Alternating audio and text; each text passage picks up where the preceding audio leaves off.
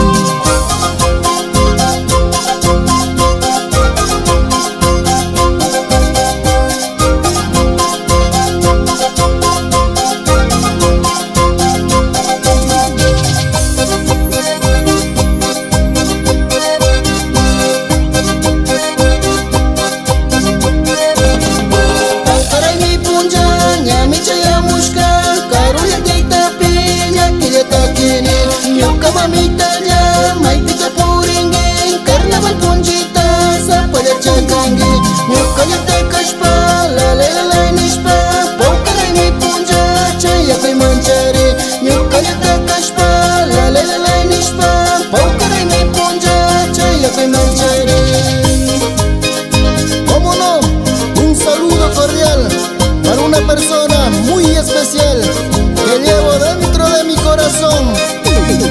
Allá en Ecuador, para ti, hijo mío, José Vladimir Castro.